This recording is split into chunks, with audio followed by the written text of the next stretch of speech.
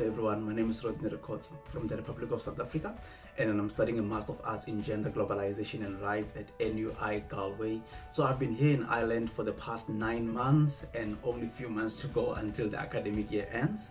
Um, so today I'm going to be sharing with you guys about the things to pack, important things that you should pack while you prepare for um, to come to, to the Republic of Ireland for your studies. So the first and foremost, very very much important, is that you need this plaque.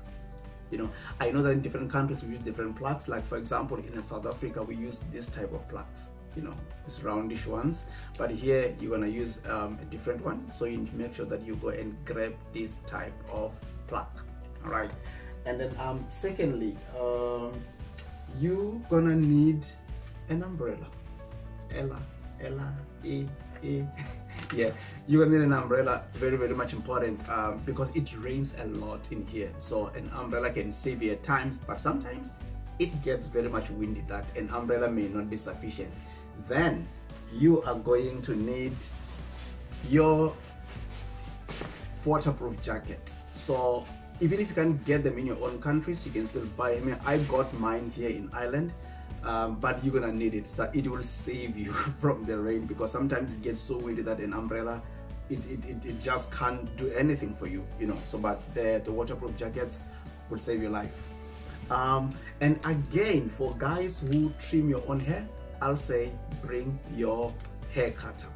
I brought mine here because I mean like I was using I was cutting my own hair back at home. So I was like okay why should I just go there and buy a new one? Because sometimes it's just gonna save you costs you know. So if you can bring yours just just buy one at home and, and bring it over here so that you can cut your own hair. Um, and you're also gonna need gloves.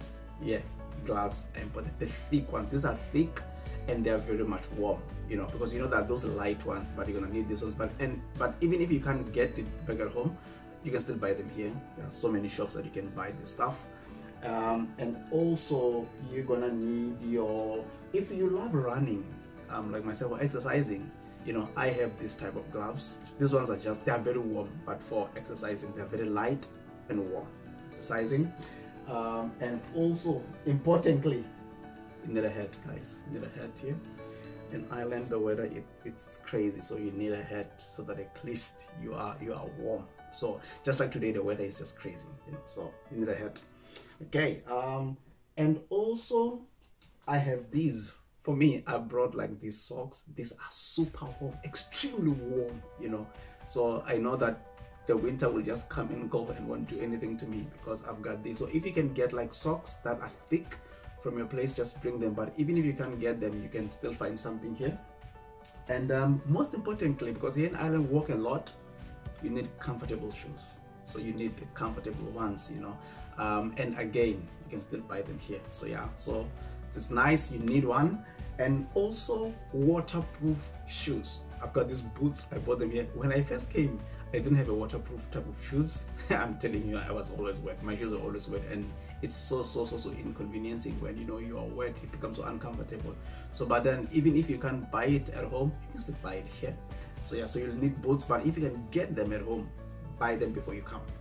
Um, and also the thermal underwear guys. Thermal underwear.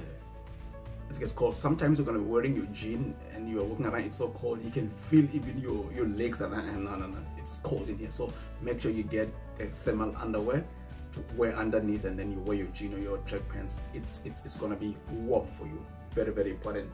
And then um what else? Um i think i spoke about the umbrella so that's what you guys need so in terms of like um where to find this thing you should watch out for our next video that we that is going to be uploaded when you're going to know the shops where you can buy all these things so guys i wish you all the best as you pack your stuff preparing to come to Ireland. I know it can be overwhelming but exciting at the same time.